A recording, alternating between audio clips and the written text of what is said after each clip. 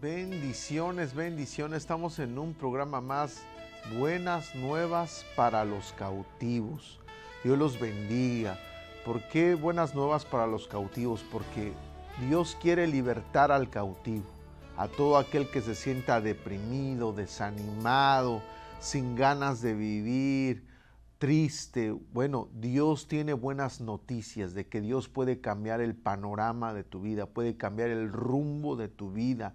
Dios quiere que tú sepas la identidad que Él tiene para ti, la identidad que solamente Dios le puede dar a toda persona. Nadie más nos va a dar esa identidad verdadera, sino solamente Cristo Jesús, una identidad de victoria, de poder, de bendición. Mi nombre es el pastor César Cruz y estamos en un programa más. Todos los días lunes a las 2.30 de la tarde sale este programa. Y yo quiero invitarle a que me acompañe en el libro de Daniel capítulo 1 y, vamos a meditar que, de qué manera vivía Daniel, cómo le servía Daniel a nuestro Padre Dios. Y, y Daniel supo verdaderamente la identidad que Dios tenía para él. Por eso Daniel fue un hombre exitoso. A pesar de los momentos difíciles que Daniel vivió, estoy hablando en el libro de Daniel capítulo 1, eh, eh, cuando fueron este, cautivos por el rey Nacudosor de Babilonia. Pero se lo voy a leer muy breve algunos textos bíblicos. Y dice aquí en el capítulo 1, versículo 1. Dice, en el año tercero del reinado de Joacim, rey de Judá, vino Nacudosor, rey de Babilonia, a Jerusalén y la sitió, o sea, la, rodeó, y el, y el Señor entregó en sus manos a Joacim, rey de Judá, y, de los y, parte de los utensilios de la casa de Dios, y trajo a la tierra de Sinar, a la casa de su Dios, los colocó los utensilios en la casa del tesoro de sus dioses, de los babilonios, paganos, por supuesto. Y, y dijo el rey Aspenaz, jefe de los eunucos, que trajese a los hijos de Israel del linaje del real de los príncipes, muchachos en quienes no hubiese tacha alguna, de buen parecer, enseñados en toda sabiduría, sabios en ciencia, en buen entendimiento, idóneos para estar en el palacio del rey, y que se les enseñase las letras y las lenguas de los caldeos. Bueno, aquí está hablando cuando ah, el pueblo de Israel fue cautivo por Babilonia. Babilonia es la actual Irak. Irak era antiguamente llamado ese país Babilonia. Pero en este caso eh, el pueblo de Israel fue cautivo por causa de la maldad. Fueron llevados cautivos por causa del pecado, de la maldad que había en el pueblo de Israel. Y Dios permitió esto, o sea, Dios siempre cuando el pueblo de Dios se mete en un pecado muy exagerado, deliberado, general, que todo mundo, así como en los tiempos de Noé, este, eh, eh, están metidos en tanta maldad, Dios permite que, así en este caso como el pueblo de Israel fue llevado a Babilonia, ah, siendo cautivos, pero aún Dios en su infinita misericordia, Dios bendijo a Daniel aunque él era cautivo del pueblo de Babilonia, del rey Nacudosor. Dice que buscaron muchachos en quienes no hubiese tacha alguna de buen parecer, enseñados en toda sabiduría, sabios en ciencia, en entendimiento e idóneos para estar en la casa del rey y que se les enseñase. Entonces Daniel con sus amigos eran lo mejor que había en Israel, la Biblia lo dice. Y versículo 5 dice, y les, y les señaló el rey, o sea, les dio el rey ración de su comida para que el rey les diese de comer, tanto de su comida y de su bebida, por tres años. Pero Daniel propuso en su corazón no contaminarse de la comida del rey. O sea, Daniel en su corazón, juntamente con sus amigos, eh, eh, que era Ananías, Misael, Azarías y los hijos de Judá, o sea, ellos decidieron no contaminarse de la comida del rey. Dijo, prueba en nosotros por diez días y vas a notar la diferencia de que nuestros rostros serán mejor que los de las personas comunes que comen la ración de la comida del rey. Entonces el jefe de los eunucos puso nombres, o sea, puso sobrenombres. A Daniel le puso Belsasar. Y aquí viene una clave muy importante.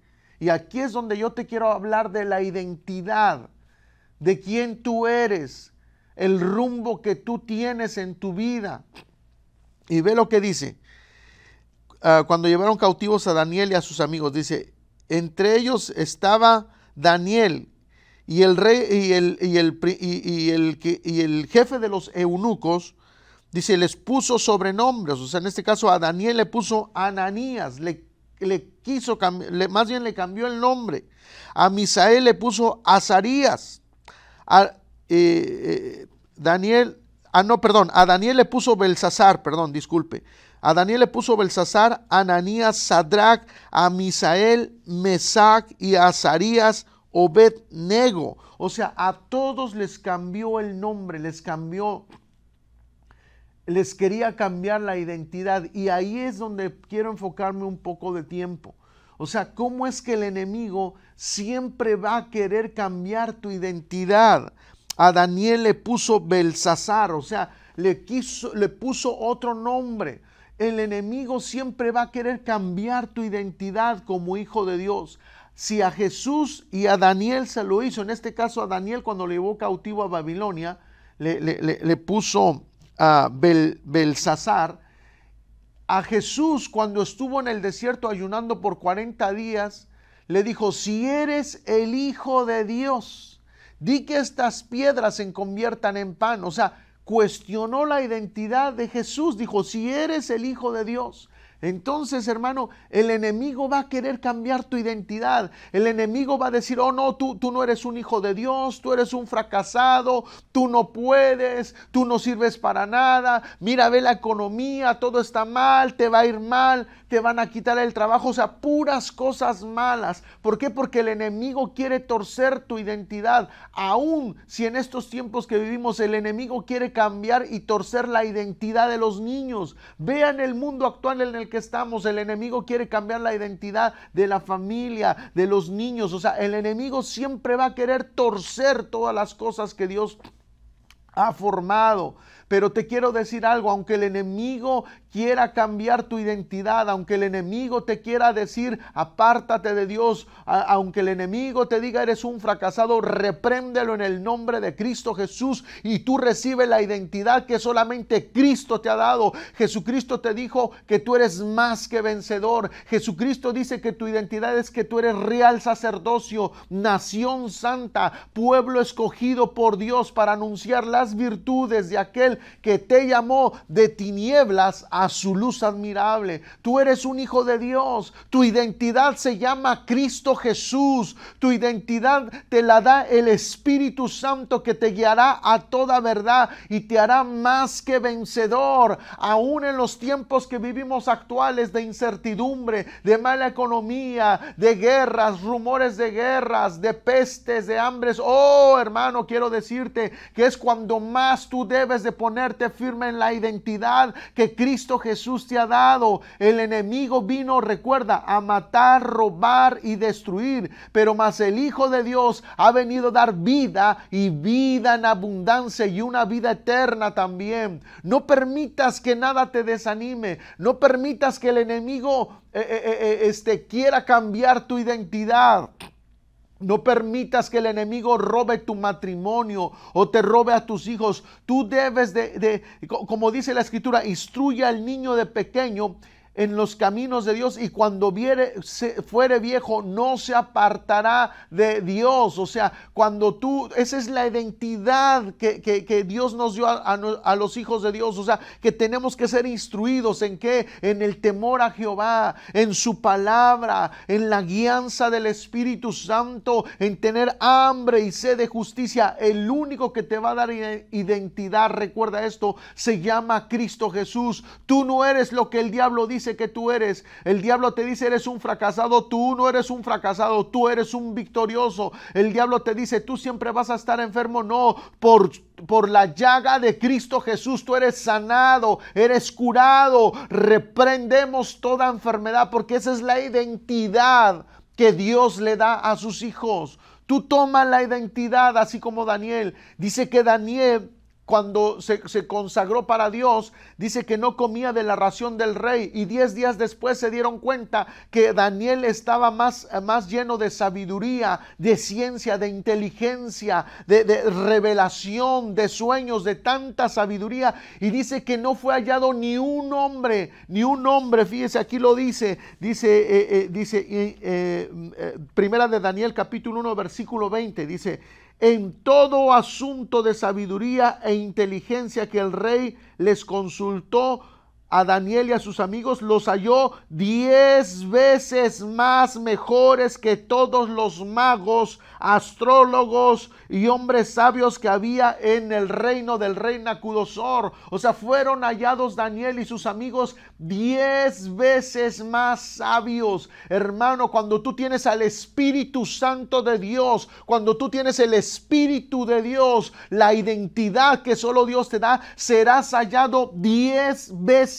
más inteligente, sabio, prudente, guiado por el Espíritu Santo y bendecido en todas las áreas de tu vida en el nombre de Jesucristo. No lo digo yo, lo dice su palabra, porque si Dios lo hizo en Daniel, ¿cómo no lo va a hacer en estos tiempos que Cristo Jesús nos ha salvado? Cristo Jesús ha pagado el precio por todos nuestros pecados. Cristo Jesús lo pagó todo. Por eso nuestra identidad no la da Cristo Jesús. Lo dice la palabra, dice, he aquí, todas las cosas son hechas nuevas a los que están en Cristo Jesús, Señor nuestro. Las cosas viejas pasaron, Todas son hechas nuevas. Tú eras antes un fracasado, ahora eres un victorioso. Tú antes eras un ladrón, ahora eres un hombre de integridad. Tú antes eras un hombre perverso, una mujer eh, adúltera, ahora eres una mujer y un hombre consagrados a Dios. Antes todas las cosas te salían mal, ahora todas las cosas te saldrán bien en el nombre de Cristo Jesús, aún en estos tiempos que vivimos. Porque si Dios bendijo a Daniel en el tiempo del cautiverio, lo hizo gobernar lo, hizo gobernador de, Babilonia, ¿cómo no te va a bendecir a ti y a mí que somos hijos de Dios? Los hijos de Dios dependemos de Dios, no dependemos de un país, no dependemos de un gobierno, no dependemos del dinero, dependemos del Dios Todopoderoso, el que sostiene los cielos, la tierra, el universo. Ese es el Dios que yo te predico, lo dice su palabra. Entonces Daniel y sus amigos, que es, le repito, el enemigo les quiso cambiar el nombre.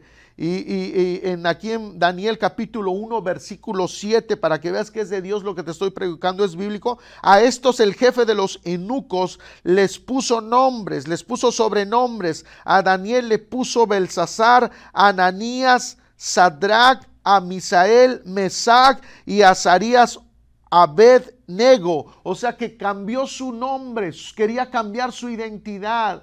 Te repito, el enemigo va a querer cambiar la identidad tuya, de tu familia, de tu esposo, de tus hijos, pero repréndelo en el nombre de Cristo Jesús.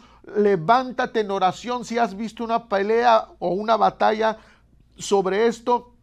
Ora, ayuna, así como Daniel, Daniel ayunaba y oraba. Dice que Daniel ah, oraba tres veces al día. O sea, ese es un nivel espiritual muy poderoso.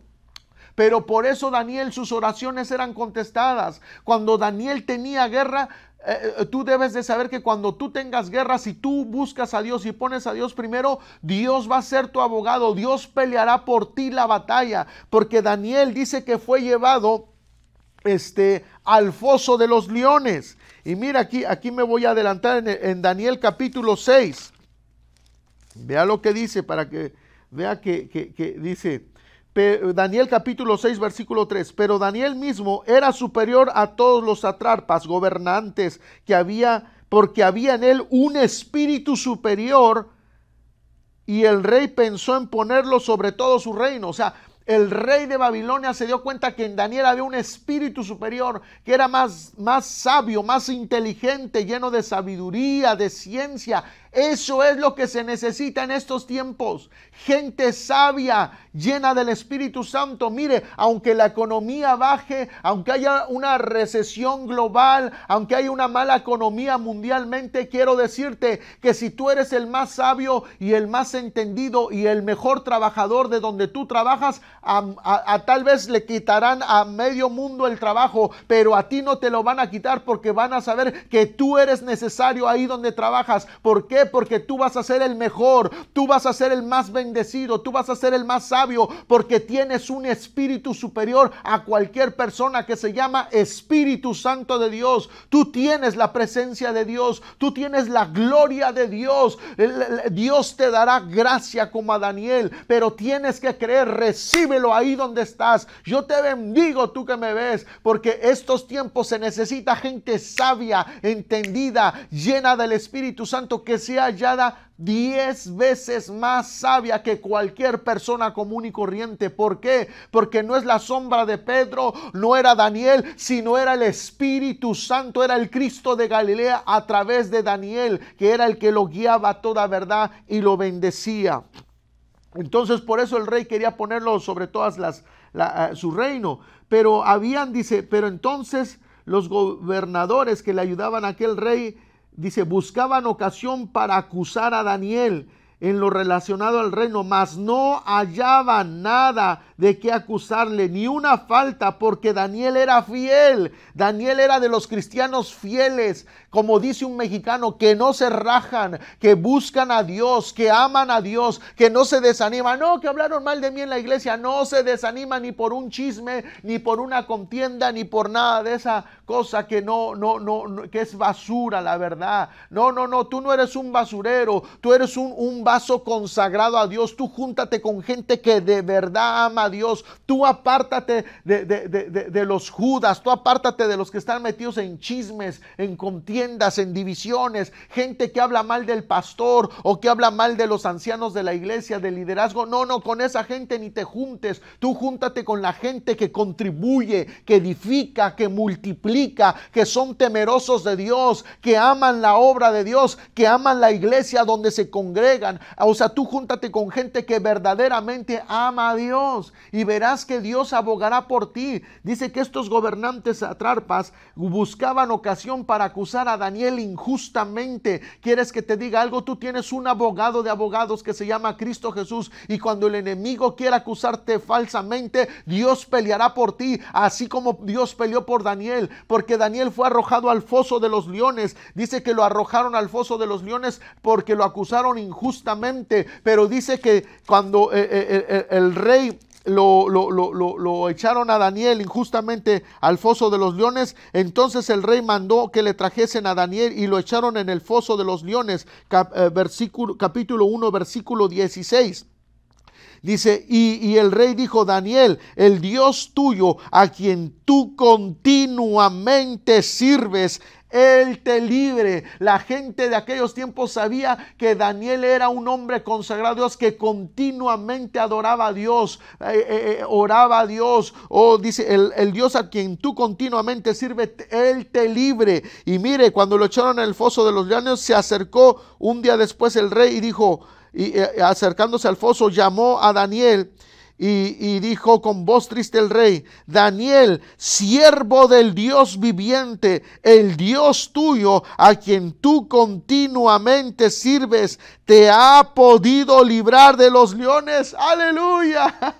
Dios tapará la boca de los leones en el nombre de Cristo Jesús. Dios avergonzará a todos nuestros enemigos. Dios, eh, Dios avergonzará a los que se burlan de lo sagrado. Serán avergonzados, lo declaro en el nombre de Cristo Jesús. Por eso tú sé como Daniel, ama las cosas de Dios, sírvele a Dios continuamente, que no te desanime nada, ni la, ni la economía, ni, ni, ni, ni nada de eso, como dice la escritura Cuando veas que los tiempos se acercan, dice, no dejaos de congregar como algunos tienen por costumbre. Mira, hay, hay guerras, rumores de guerras, hay pestes, hay hambre, hay, hay, necesidad en todo el mundo. ¿Por qué? Porque se está cumpliendo la escritura. Estamos en el principio de dolores, pero aún en el principio de dolores yo profetizo que Dios te bendecirá, Dios te guardará, Dios te prosperará, así como a Daniel. Dice, caerán a tu lado mil y diez mil a tu diez mas a ti no llegará mal alguno. Dice que, que nosotros hollaremos la cabeza de la serpiente y, la cabeza del león.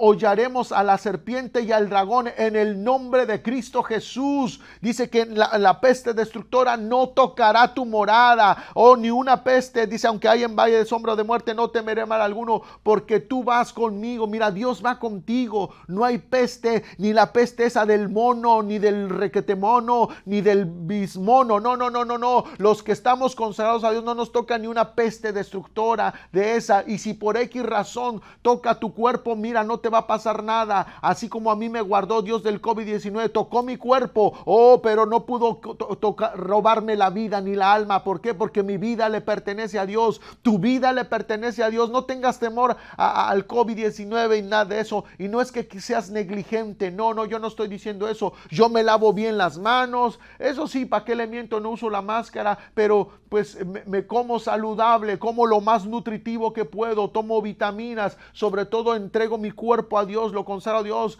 eh, como pescadito, así como Jesús lo comía, un pescadito zarandeado, bien rico, eh, jugos verdes, eh, leche de almendra, miel natural, me hago unas limonadas con, con limón y, miel natural seguidito, eh, de vez en cuando como carne, no tan seguido, como carne blanca, o sea, busco cómo cuidar mi templo, porque cuando tus defensas están fuertes y cuando tienes la bendición de Dios, ni una peste tocará tu morada. Mire, te lo digo por experiencia, porque yo tengo en cinco años solamente una vez me he enfermado de gripe, en cinco años. En cinco años soy lo que te digo y hay gente que a cada ratito le da la gripe y la requete gripe y bueno, Dios es fiel, Dios guarda a los que le aman. Entonces dice que Daniel fue echado en el foso de los leones y el enemigo lo quería atacar, matar, robar y destruir. Y dijo el Dios y le dijo acercándose al foso lo llamó con voz triste y le dijo el rey, el Dios tuyo eh, a Daniel, el siervo del Dios viviente, el Dios tuyo a quien tú continuamente sirves, te ha podido librar de los leones. Y dijo Daniel, mi Dios envió a su ángel, el cual cerró la boca de los leones. Así Dios cerrará la boca de los leones. Todo león declaro que está derrotado porque no, no lo derroté yo, lo derrotó el Espíritu Santo, lo derrotó Jesucristo en la cruz del Calvario. Por eso no le tengas miedo a la enfermedad, ni al diablo, ni a los brujos, ni hechiceros. No, tenle reverencia a Dios. Él es el que quita la vida o da la vida. Él es el que tiene el poder. Por eso Dios, si tú te consagras a Dios, Dios peleará por ti. Así como Dios cerró la boca de los leones, mira, Dios cerrará la boca de todos tus enemigos. Serán avergonzados en el nombre de Jesucristo. Y dice que estos hombres que le tendieron la trampa a Daniel, después fueron ellos echados al foso de los leones. ¿Por qué? Porque el Dios que tenemos es un Dios justo, un Dios que bendice, un Dios que protege. Pero concluyo. Dice que Daniel Fíjese, le estaba hablando de los alimentos hace un momento. Daniel decidió no contaminarse de la comida del rey. O sea, Daniel comía saludable y fue hallado diez veces más sabio que cualquier persona común y corriente. Tú serás hallado diez veces más sabio porque tienes al Espíritu Santo, tienes al Padre y tienes a Jesucristo, el Hijo de Dios. Esa es la identidad tuya. Esa es la identidad que Dios tiene para ti. Déjame orar por ti porque el tiempo ya se me fue. Quiero orar por ti. Si tú crees que es de Dios esta palabra, repite conmigo con todo tu corazón y di conmigo, Señor Jesucristo. El día de hoy yo te entrego mi alma y mi corazón como mi único Señor y Salvador de mi alma. Te pido perdón, Señor. Dile, perdóname por todos mis pecados. Perdóname porque yo reconozco que he pecado contra el cielo y contra ti. Pero hoy me arrepiento de todo pecado. Te entrego mi vida, mi mente, mi alma y todo mi ser en el nombre de Cristo Jesús. Y escribe mi nombre en el libro de la vida. Gracias, Padre Padre, en el nombre de Cristo Jesús. Amén. Padre, yo bendigo a toda persona que nos está mirando. Si hay algún enfermo, lo declaro sanado en el nombre de Cristo Jesús. De, reprendo toda fiebre, toda uh, alergia, toda enfermedad, todo espíritu de temor que no viene de Dios, toda depresión, toda ansiedad. La reprendo, el hecho fuera de tu vida y declaro que el Espíritu Santo de Dios te llenará y te dará paz, esa paz que sobrepasa todo entendimiento y guardará tu corazón y tus pensamientos en el nombre de Cristo Jesús. Gloria a Dios, gracias papá. Si usted es primera vez que ve este programa, sale todos los días lunes a las 2.30 de la tarde. Y si por X razón no te puedo contestar, mándame un mensaje de texto. Y si no puedes llamar a las instalaciones de Alma Visión, que aquí te van a atender la llamada 24 horas al día, 7 días a la semana. En Alma Visión está todo el día aquí, los hermanos te contestan. Pero bueno, este programa sale todos los días lunes, 2.30 de la tarde. Dios te guarde, Dios te bendiga, pasa la voz, invita, dile a alguien de este canal Alma Visión. Dios te guarde, Dios te bendiga y nos vemos el próximo lunes a las 2.30 de la tarde. Bendiciones. Aleluya.